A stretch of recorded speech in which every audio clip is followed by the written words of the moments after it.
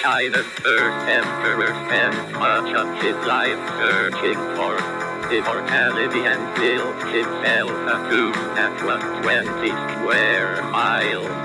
Construction of the tomb began when the future emperor of Qin, China, took power at the age of 13.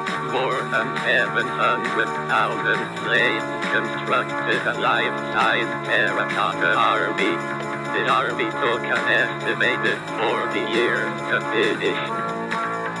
The clay soldiers remained untouched for more than 2,000 years.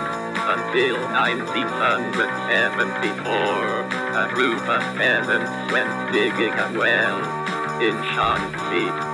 They found fragments of a clay figure, the first evidence of what would turn out to be one of the greatest archaeological discoveries of modern times.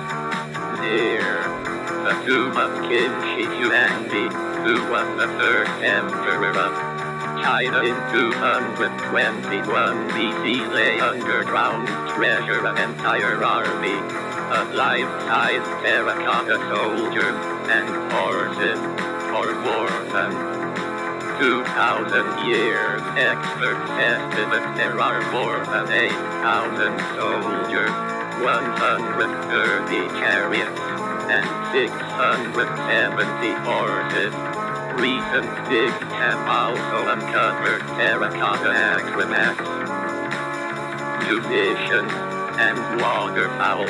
Every soldier is unique.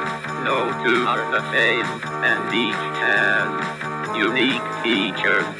Scientists trying to preserve the paint on the warriors. The greatest mystery is yet to be revealed. The Emperor's tomb, which has yet to be opened.